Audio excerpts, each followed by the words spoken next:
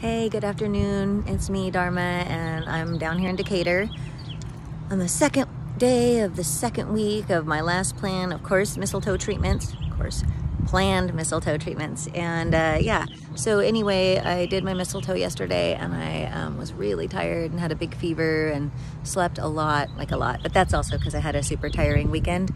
And then um, today I did my resveratrol and um, what else did I do? Quercetin um, infusions, and now I'm gonna go find some lunch. So I'm feeling generally really good, but I do have some concerns. So I still have like this weird, um, I'm calling it my nodal neckness. So I have some bumps here that I've had like since July, and I've told all kinds of doctors about them, and um, no one seems too worried about them. But I am rescheduling my CAT scan that was gonna be next Monday for like four weeks out because I need to have a little time after the mistletoe treatments to allow any inflammation or swelling to go down so it doesn't like skew the results of the scan. And so I've requested that they switch the scan from the chest and pelvis area, which is what my um, oncologist had recommended. And I'm asking her to please include my um, throat and collarbone area so we can really have a look at those.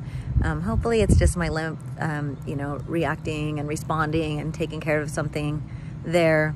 But um, better safe than sorry. I mean, I don't even know what we would do if it is a problem. I guess we could do mistletoe in those if they are tumors, but hopefully they're not. Um, I also had a weird little bit of, just a little twinge of um, chest pain on the right side last night. And I always am a little paranoid about anything.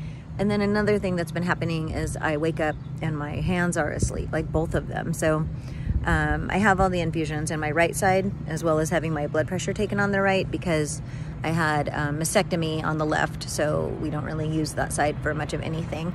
Um, so hopefully it's no big deal. I just, you know, shake it out, like shake them and move them and, you know, do all these things to try and like, you know, get my circulation back. And I did, and I slept really well.